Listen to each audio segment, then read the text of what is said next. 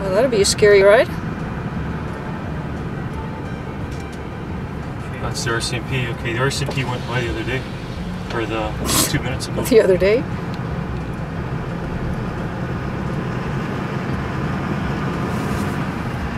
Oh shit.